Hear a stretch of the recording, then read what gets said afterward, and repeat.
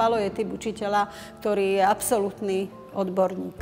Deti sa neučia tým, že im niečo rozprávame o živote, ale tým, ako vystupujeme.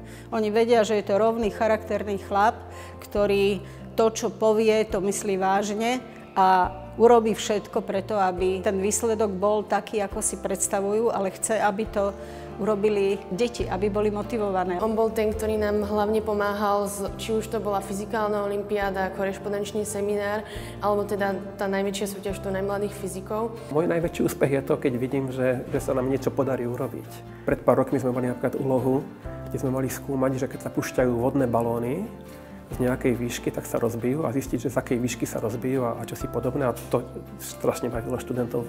Stále boli na dvore a pušťali si balóny a, a rozbíjali ich a kamerovali ich a tak. Vždycky, keď za ním prídem, tak má niečo nové, niečo chce proste zdeliť.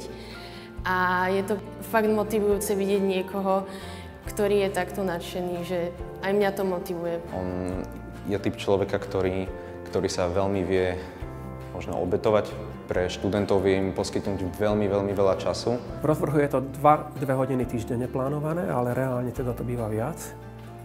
A býva to nielen piatok, ale niekedy aj v sobotu a niekedy aj v nedelu, alebo aj veľkonočný útorok, alebo tak, také termíny, že keď sú normálne prázdniny. Prírodné vedy nás učia aj pokore. My nie sme tí, čo hýbu nebom a zemou.